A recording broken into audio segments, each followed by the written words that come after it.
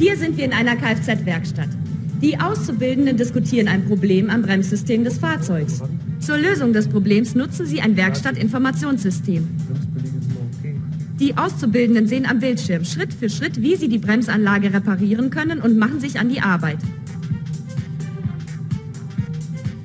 Sie filmen sich dabei selbst, um später anderen Auszubildenden in der Berufsschule zeigen zu können, welche Arbeitsschritte in welcher Reihenfolge erfolgen müssen. Die Auszubildenden produzieren selbst digitale Bausteine und lernen gleichzeitig. Sie gestalten den Lernprozess aktiv mit.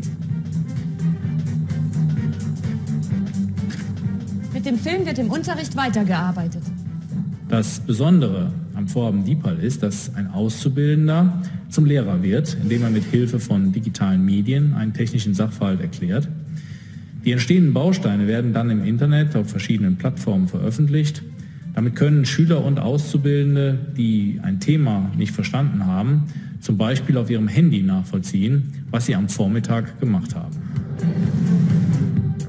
Das war unsere Reise quer durch Deutschland.